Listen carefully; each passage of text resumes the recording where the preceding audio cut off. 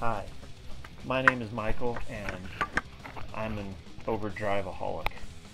And so today we're going to talk about overdrives and how to make sure that you can get the one that you really want. As guitar players, we're all pretty much familiar with the term GAS, Gear Acquisition Syndrome, and it can be very deceiving. It's very easy to watch a bunch of demos and really get sucked in and really want to uh, try them all get them all and have every different possible flavor and variation that's out there. In the process, that can get very expensive. Um, so hopefully I'm going to give you some tips today that will help you zero in on just exactly the right pedals that you need so that you don't wind up wasting your money and just succumbing to every opportunity that you have. Welcome back to Wolf Guitars and Gear. Today I'm going to give you five questions that you should ask yourself when you're getting ready to buy your new overdrive pedal. So let's just jump right in first question you should ask yourself is what do you want the overdrive to do? You know, some pedals are good at giving a good mid bump so that your guitar will cut through a mix, and some people use that more than uh, the, the drive on those particular types of pedals. Uh, some popular ones that would fall into this category would be like the Klon or the Tube Screamer that just have a accented mid frequency that uh, just really helps the guitar poke through. Um, another type of overdrive that you may want to consider is what a lot of people will refer to as a transparent overdrive. That's kind of become a catchphrase in the guitar community. So what does transparent overdrive really even mean? Um, it really means that it doesn't really color your, your pedal so much. So in that regard, it kind of stands in direct contrast to the EQ'd kind of overdrive I was talking about before with that mid push. This is more of a flat response. It's more retains the guitar's natural tone and just gives you uh, a gain structure on top of it. So what are some examples of this style of an overdrive? Uh, probably some of the most popular ones would be like a Bluesbreaker or a Timmy style pedal would be some really good ones to consider. Some people would even put the Klon into this category, even though I think that's perhaps inaccurate because it does have quite a large mid-frequency presence.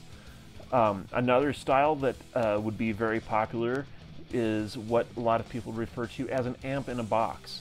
And so a lot of these will have the, the, the character and the flavor of a particular style of amp, whether it be a Marshall or a Vox or a Fender.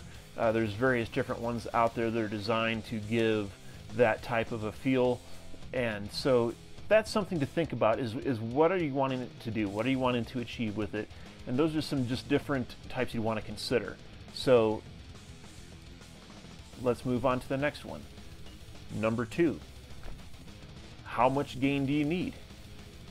You know, some different styles of music require different things, and what you're trying to do, how you're trying to fit this in with the rest of your rig, is going to be very important. So whether you want just kind of a low gain pedal for a base sound, whether you want something more of a medium sound that you're going to be using to stack with a lower gain pedal, or whether you perhaps want a high gain pedal that maybe you're planning to use as solo boost.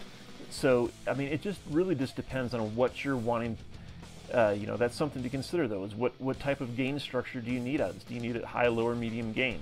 So number three, uh, how will you be using this pedal? Are you the type of player that uses your volume knob a lot? Uh, you know, another huge key component in this is what genre of music are you playing?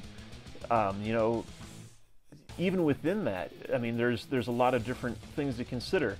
Uh, you know, a tube screamer is probably one of the most popular types of overdrives that's out there. But if you're a blues player, you're going to be using that overdrive probably differently than, you know, if you're a metal player, putting that in front of you know, a Mesa or, you know, a Peavey 5150 to try to tighten it up.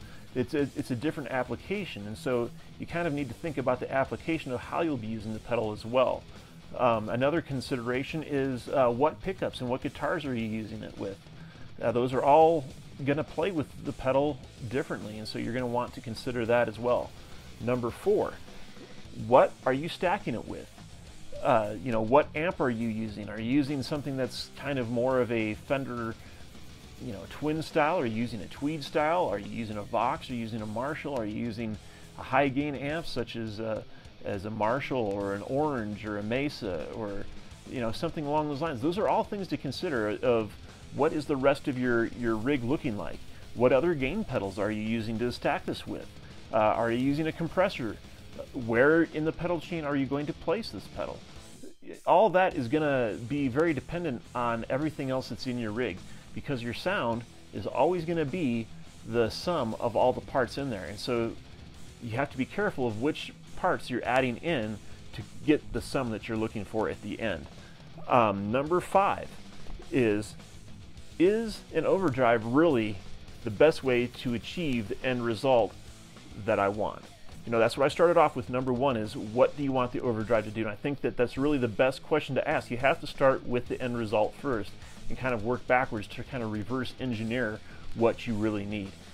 For example, if what you need is a transparent overdrive, is that if that's kind of the direction you're leaning, you know, something else you may want to consider in addition to an overdrive, you might want to look at a boost because a boost might wind up give you exactly what you're looking for. It might give you that that same amp tone that you know and that you like, but then you put on this boost and it kind of pushes it past its its point of overdrive and puts it into a natural state of overdrive that's going to be very transparent and exactly like what your amp sounds like.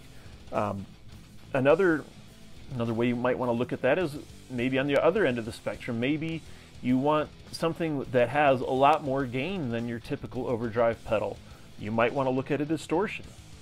If you want something that has a lot more sustain and a lot more harmonic content, uh, you might want to look at a fuzz. There's some other things that might fit the bill for what you need, and depending on how you're using it and what your application is, will help you narrow down your search on what it is that you truly need for your sound.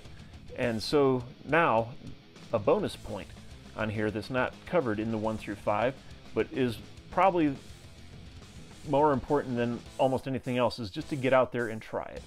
Go to your local music store, plug it into something that's very similar to what you have. Try it on a variety of different guitars. Try it on, uh, pair it up with various different pedals that you may already own.